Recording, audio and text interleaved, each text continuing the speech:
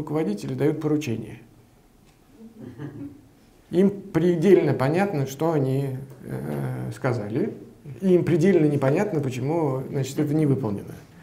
Вот. Но на самом деле смысл, который они сообщили, и смысл, который считали, были разные смыслы.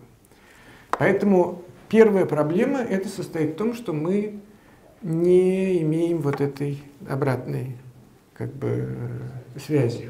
Значит, вторая проблема состоит в том, что значит, понимается это, то, что транслируется людьми в зависимости, ну, знаменитое когнитивное искажение проклятие знания.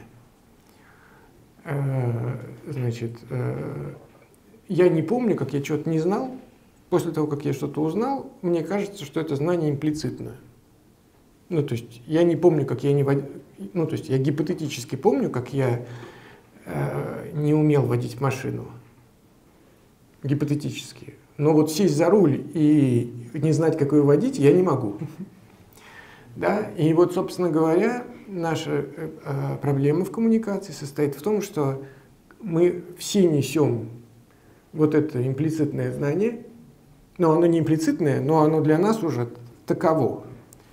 И поэтому коммуникация получается, что понимают разные, разные системы, воспринимают один и тот же смысл, он еще раз поменяется.